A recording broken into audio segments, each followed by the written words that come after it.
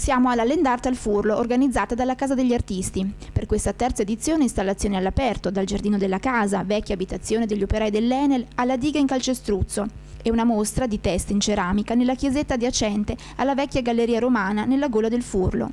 Speranza Neri ci presenta le sue opere esposte nella chiesa, aperta nei fine settimana di settembre dalle 10 alle 13 e dalle 16 alle 19.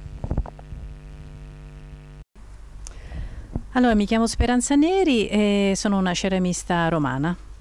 Eh, le mie sculture si ispirano al quotidiano, eh, sono ironiche, grottesche, rappresentano un po' quelle che sono le debolezze e i drammi alcune volte della nostra società e cerco di prendere dei simboli universali che siano eh, uguali per tutti e di, con un po' di, di gioco, un po' di gioia, di rappresentare questi miei personaggi un po' assurdi, molto colorati, molto forti, molto incisivi, per eh, appunto per mettere in risalto in qualche modo alcuni mh, mm, punti deboli, diciamo, che abbiamo tutti quanti.